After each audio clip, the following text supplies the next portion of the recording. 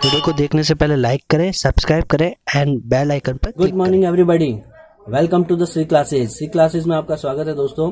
आ, कुछ वीडियोस के थ्रू ये पता चला है कि कुछ डीप जो वीडियो है यानी डीप टॉपिक के अंदर मैं कुछ डीप ज़्यादा पढ़ा रहा हूँ।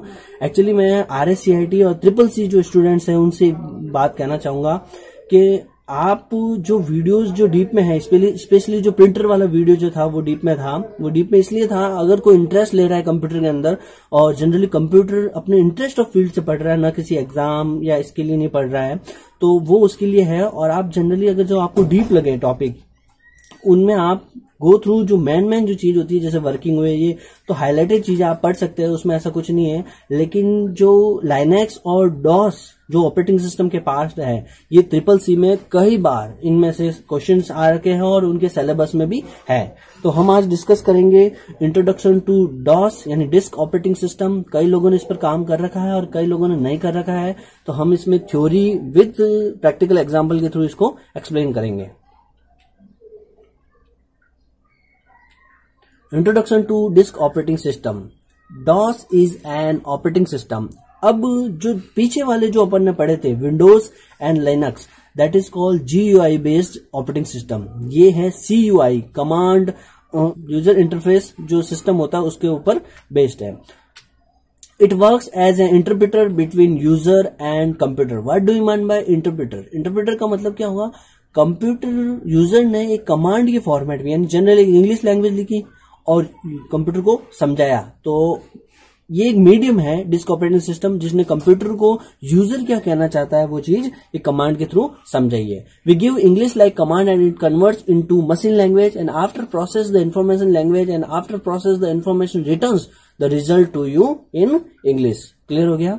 MS DOS contain four essential program चार प्रोग्राम इसमें होते हैं। पहला प्रोग्राम होता है boot record IO dot system MS DOS system और command DOS system command dot com sorry actually boot record booting files होंगी input out system input out की जो फाइलें होगी एमएस डॉस में, उसकी जो जनरल पर्पज फ़ाइल होती है और कमांड डॉट कॉम में, उसकी कमांड एक्सप्लेन की हुई होती है। डॉस के अंदर क्या क्या यूज़र कमांड दे सकता है, उनका मीनिंग क्या है?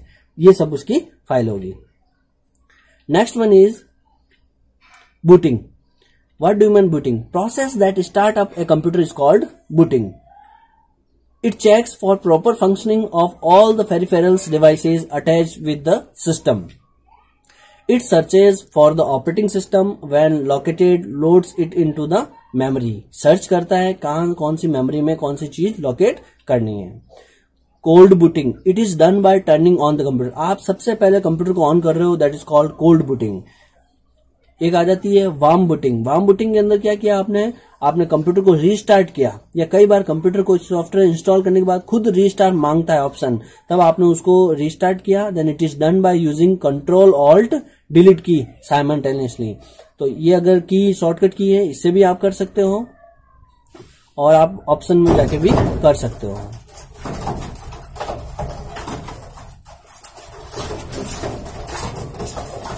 三两个，这个。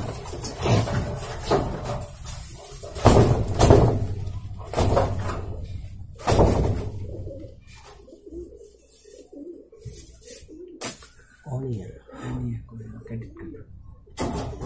Bambu ding. Bambu ding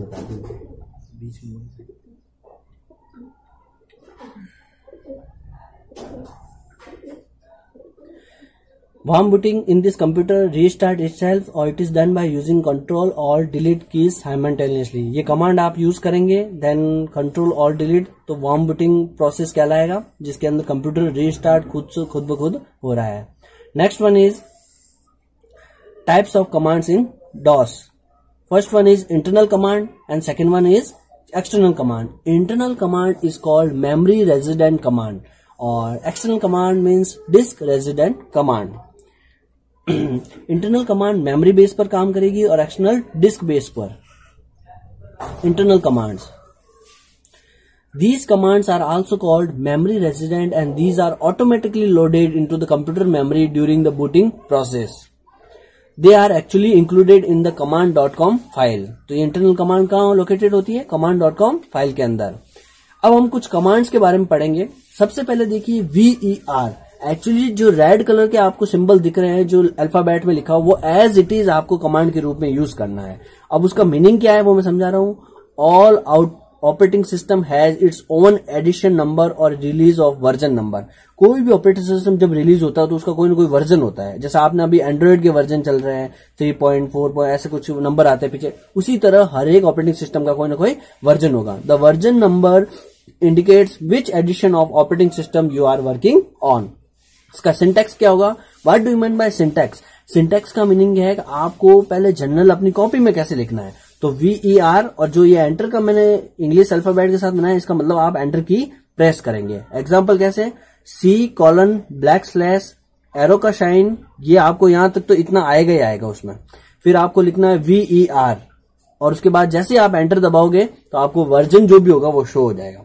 फिर नेक्स्ट होगा volume what do mean by volume या वॉल्यूम का मतलब आवाज़ से नहीं है। यहाँ वॉल्यूम का मतलब होता है खंड। क्या होता है? कई बार जो वर्जन बन गया, उसका next volume one volume two volume three कोई भी बुक होती है तो उसके अलग अलग वॉल्यूम आते हैं। उसी तरह ऑपरेटिंग सिस्टम के भी वॉल्यूम है। तो it is use to display volume label and serial number of current drive तो वॉल्यूम हो जाएगा एंटर सेम वही प्रोसेस वी ओ एल लिखना है, आपको कुछ नहीं करना है। फिर आती date use to display the current system date and prompt for entering new date तो आपके पास क्या आ जाता है? यहाँ पर जैसे डेट लिख के डी ए टी ही और आप क्या लिखोगे? एंटर दबाओगे तो आपके सामने वो क्या आ जाएगा? डेट शो कर देगा।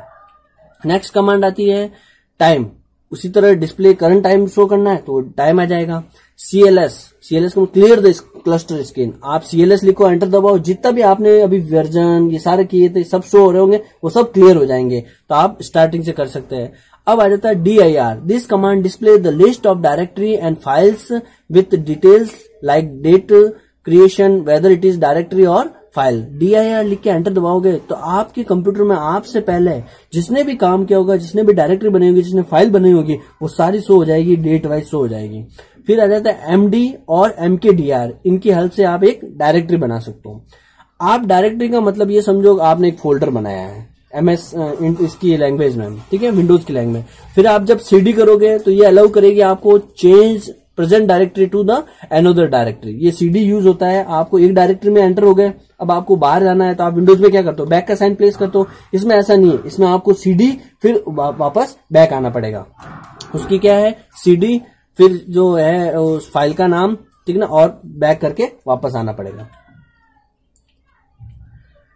Next one is RD to delete the empty directory कोई भी आपने फोल्डर क्रिएट किया डायरेक्टरी का मतलब यहाँ फोल्डर है जनरल भाषा में आप समझो। तो डायरेक्टरी आपने क्रिएट कर दी, आप उसमें कोई फ़ाइल नहीं, और अननेसेसरी क्रिएट हो गई तो आप आरडी दबाओगे, और उसका पाथ पाथ क्या होता है, वो मैं भी बता दूँगा। ठीक है नहीं पाथ फिर जैसे एंटर मारोगे तो वो आपकी डायरेक्टरी क्या हो जाएगी डिलीट हो जाएगी। Copy con? We use this command to create a new file एक नई फ़ाइल क्रिएट करनी है अगर आपको, ठीक है ना? तो आप उसमें सबसे पहले क्या करोगे? डायरेक्टरी क्रिएट कर दोगे और उसी डायरेक्टरी के अंदर अगर आप हो गए तो आप कॉपी कॉन लिख के एक फ़ाइल जनरेट कर दोगे। उस फ़ाइल का नाम दे दोगे। और फ़ाइल के नाम हमेशा डॉट टी फॉर्मेट में देना है। जैसे मैंने एक एग्ज़ाम्पल दिया C colon slash greater than का साइन है एरो का साइन है, फिर copy con Sam's dot T ये मैंने नाम दे दिया। क्लियर हो गया?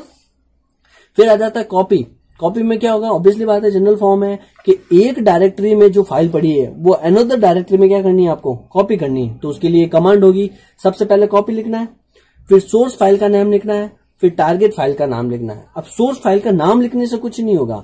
आपको क्या करना है, उस डायरेक्टरी का पूरा पाथ लिखना पड़ेगा कि वो कहाँ पर है। और उसी तरह टारगेट जहाँ करनी उसका भी आपको पाथ लिखना पड़ेगा। तो उस हिसाब से ये चीज़ जाएगी। क्लियर हो गया कॉपी डिलीट या erase this command remove one और move files from the disk और करंट वर्किंग डायरेक्टरीज उस डायरेक्टरी में से वो चीज़ क्या कर देगा? वो डिलीट कर देगा. क्लियर हो गया?